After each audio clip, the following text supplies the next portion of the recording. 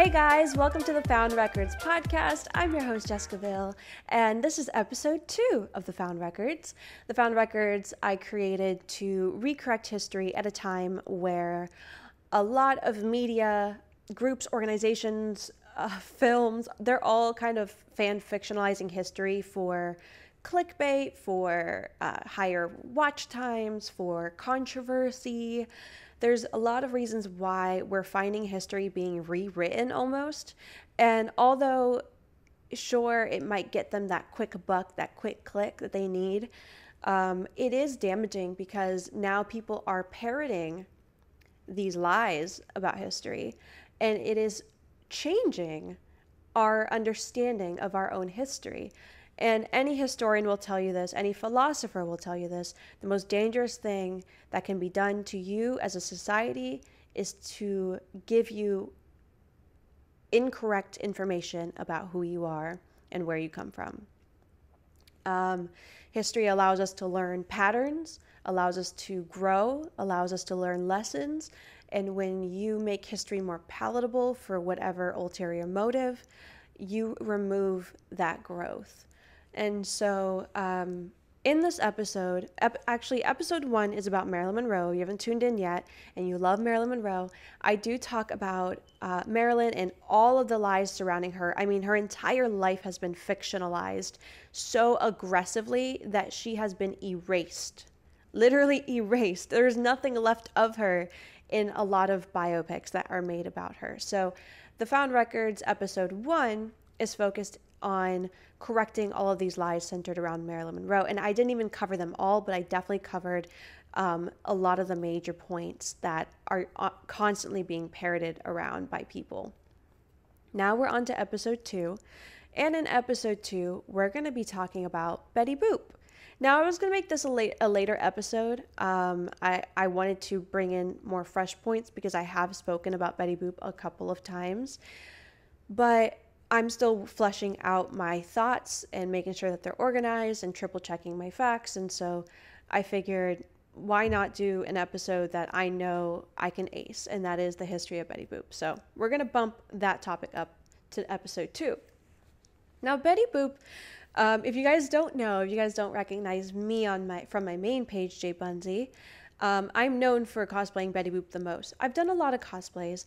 But Betty Boop was my most popular one. I, th- I don't even know how many million of views it got. I think like 40, 48 million or something crazy like that.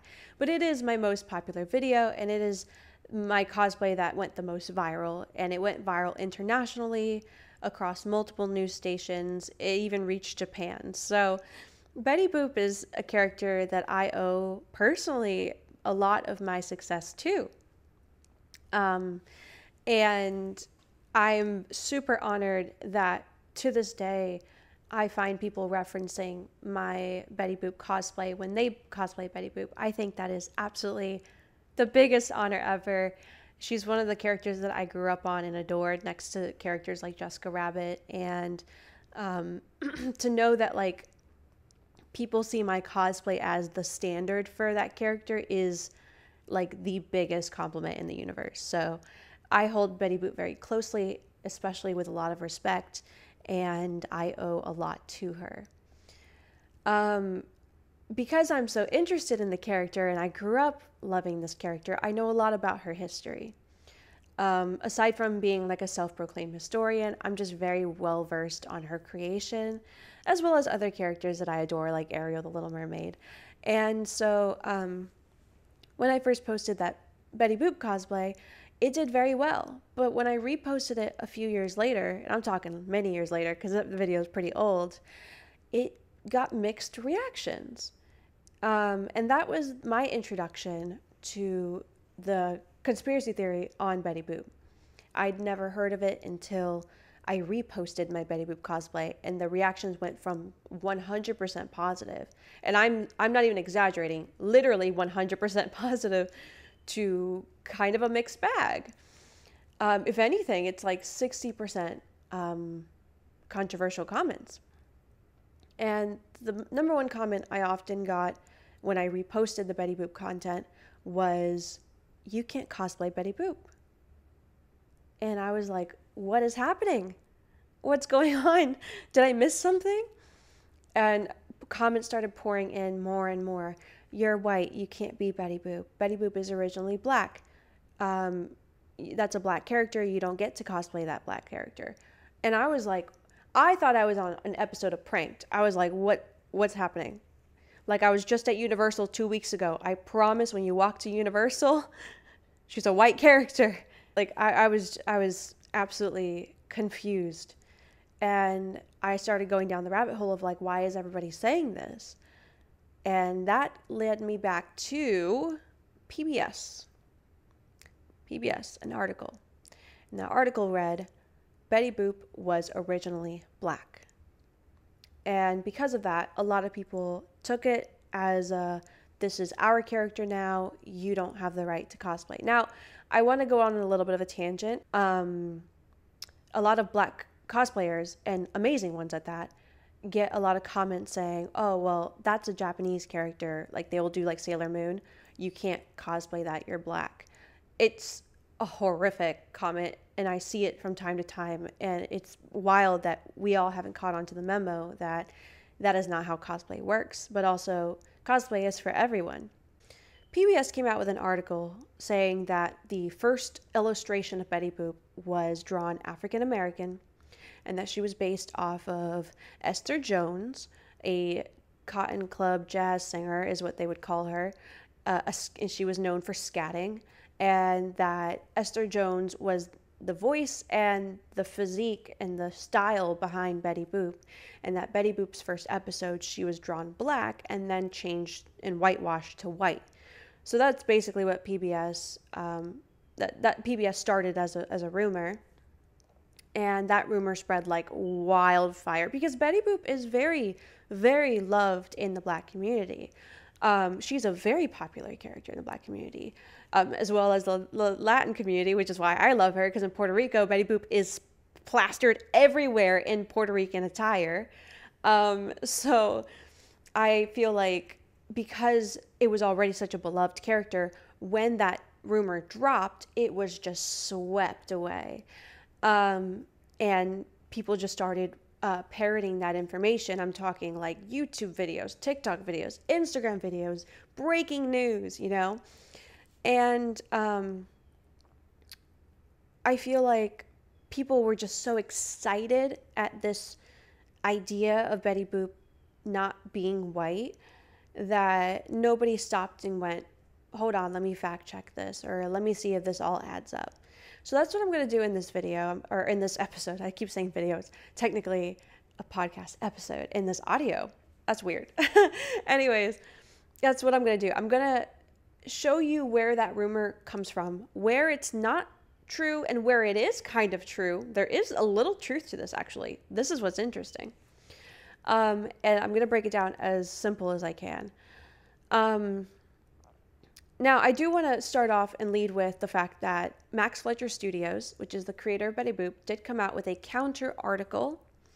And in that counter article on their website, they have stated that PBS's article they actually wrote that PBS's article was false on their Instagram, but in the article, it was a correction article of how Betty Boop was created. It was very loose, and I feel like they even didn't cover the full story, but they were pretty much saying that no, Betty Boop is not based off of a singular black woman. Um, this is actually how she was created. So let's go down to the lane of how was Betty Boop even created? Let's start from the very, very beginning um, because that is the only way we can get our ducks in a row. So Betty Boop was created by an artist named Max Fletcher, and he wanted to compete with Mickey Mouse. So she was supposed to be a poodle because Mickey's a mouse, Betty Boop's a poodle. That was like kind of the, the thought process. So in, what was it, August 1930? Let me make sure that is correct because dates, yep, August 1930, August 9th specifically, um, she debuted in an episode called Dizzy Dishes. So this was the first episode ever.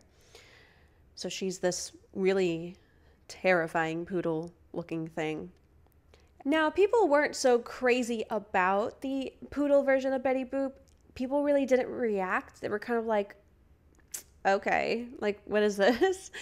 And Max Fletcher was very disappointed. So he went back to the drawing board, and a year later, he was thinking, you know what? I think Betty Boop is supposed to be a human. So he took the poodle ears and swapped the ears for hoop earrings. And he's like, I'm just going to make a 1920s flapper girl, and that'll be Betty Boop. So in 1932, he came out with a short called Any Rags. And that's, you know, she looks exactly like she does all the time, like since we've known her. Um, she was white or white appearing in that episode, and people were really receptive. So then the next year after that, in 33, um, he started kind of crossing Betty Boop with already popular existing characters like Popeye. So in that episode, uh, I think that was also a short. Um, Popeye and Betty Boop were seen together, and Betty Boop is featured with Hawaiian cultural attire, and she has a tan. Now, this representation of Betty Boop, of her being in Hawaii on vacation, is where PBS took that clip and ran left field with it. So they took that clip, they darkened even more the tan, you know, they just changed the lighting or whatever in editing. Like, this is what Betty Boop originally looked like. Um, so that is where the lie began. You know, Betty Boop continued gaining popularity. Um, and that is when, she, you know, we went back to the pale Betty Boop. She got a lot of shorts. The shorts became full, longer episodes, and she racked up popularity like no other. She was so popular, in fact, that she was giving Walt Disney a run for his money. Uh, and Betty Boop was just, I mean, the, the thing is, is that Betty Boop came at the most perfect time in history because we just got done with the flapper era. So she has like a little bit of nostalgia to her. That's like the equivalence of like, um, I don't know if that's a best equivalence because this was a 10 year difference, but I feel like for us, maybe a 30 year difference would be better. But that's like if somebody came out with like a 90s themed character now for us, like that would excite us because that was such a great time for a lot of us.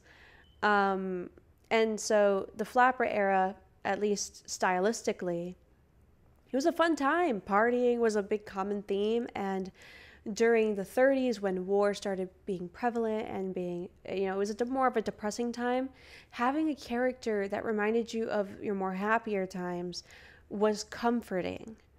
And that's what Betty Boop was to society. And Max Fletcher was absolutely brilliant with creating a character that subconsciously reminded society of a happier time in their own life. And so Betty Boop was just, she was a hot thing. Now, uh, PBS reported uh, that Betty Boop uh, was then whitewashed, and we've already discussed how that wasn't true, and that there was a lawsuit that revealed that Esther Jones, which was a singer, was the original uh, idea of Betty Boop. Visually, vocally, the whole nine yards, a photocopy representation of the character. And they were wrong. They were they did come out with an article later apologizing to Fletcher Studios for misreporting Betty Boop's history. Um, but there is some truth to it as well. But let me let me explain where the truth is and where the where the lie is in Betty Boop coming from a black singer. So, at the time that Betty Boop was very very popular, it was just she was everywhere. Um, there was a singer named Helen Kane that noticed something interesting about Betty Boop. And it was that Betty Boop looks just like her and sounds just like her and behaves just like her. And she's like, oh my God, there's a studio that has come out with a character that is me. And they're making money and I'm not getting a cent of it. So she goes and files a lawsuit. Now, Max Fletcher Studios, and I believe for legal reasons, denies that there is any influence of Helen Kane and Betty Boop, and that was the basis of the lawsuit. The count, you know, the counter argument from the studio was, no, this is just an average flapper girl, and she's based off of multiple famous actresses, and you're not the only one that's like that. So go away. that's like the millennial take on on how that conversation happened. Um, uh, but essentially, they were they were saying like no, like she's a generic flapper girl. Like how could you say this is about you? Now let me interject here with my opinion, but but fact based opinion. I have personally noticed in my research that Helen Kane wasn't all that crazy, and I feel like she was gaslit because when I sat and watched all of Betty Boop's shorts, and then I watched a lot of Helen Kane's work, they're the same thing. For example, Betty Boop also sang the song Nan McGrew, which was performed by Helen Kane. Helen Kane performed it first, and Betty Boop was showing up later in a short, singing the same song, wearing the same outfit as Helen Kane, and there was like slight lyric changes. I Want to Be Loved by You is another one that Helen Kane sung, Betty Boop also sung. Uh, there was specifically, I remember a, there was an episode of Betty Boop at a club, and she was wearing a dress with a big bow in the back. And Helen Kane also wore a, a dress with a big bow in the back. And so personally, in my opinion, I think they gaslit her because they knew that they didn't want to lose ownership of Betty Boop or have to seize production. So they had to dig deep to see how they can avoid her winning. So there's actually um, an article that came out at the time, and it's a photo of Helen Kane on one end and three other actresses on the other end um, which included Mae Questel, Margie Hines, and Bonnie Poe, um, who, you know, they do look very similar to Helen Kane as well, and they kind of behave the same and pose the same. Um, again, personally, I I found way too many similarities with the music and the clothing to Helen Kane, but you know, I'm gonna leave my thought out of it because I cannot prove it, obviously, other than showing you the fact that there's a lot, way too many similarities. But aside from that, um, Max Fletcher's defense was no, she's based off of these actresses, including Clara Bow as well. So again, it's Bonnie Poe, Margie Hines, Mae Questel, which ended up being the voice of Betty Boop, and Clara Bow being his biggest inspiration. And she's like, Well, what about my catchphrase, boop, boop, badoo? That's mine. Like, no one else does that. This is what Helen Kane says. So Max Fletcher had to dig deeper. Who else has done the catchphrase boop boop badoo? A nine year old, a nine year old performer. Well, technically, by the time of this lawsuit, she might have been 11, maybe 13, but she was a kid. When Betty Boop first came out, Esther Jones was nine years old. When the lawsuit happened, if I'm not mistaken, I think she was in her preteen age. And he found that she was singing boop boop badoo, like to the T. And he started asking around, and he's like, you know, how long has she been performing here? And, you know, she was popular in her own community. Esther Jones was very popular in her own community. Um, she was a local favorite performer. Uh, she was often performing in a beret, so she she was so freaking cute. She wore this like little uh, leotard. Um, what I mean, the picture is in black and white, but I think it was maybe like a white or a pink color, and then like this little side beret, and that was like her go-to look. And she would dance at the same time that she would sing. Scatting is where the idea of boop boop doop actually even comes from. Scatting is is it derived from black culture. Um, so African Americans made very uh, made jazz and scatting very popular in America. And they brought it over into cinema, and white people started partaking in jazz music and scatting. So Helen Kane's not original at all. And Helen Kane lost the lawsuit because of that. So that is the real story of how uh, Betty Boop was created. Um, and at this time as well, acting like a baby was very common. It's kind of odd. This kind of sort of stems from like the Shirley Temple vibe that people think that children being cute.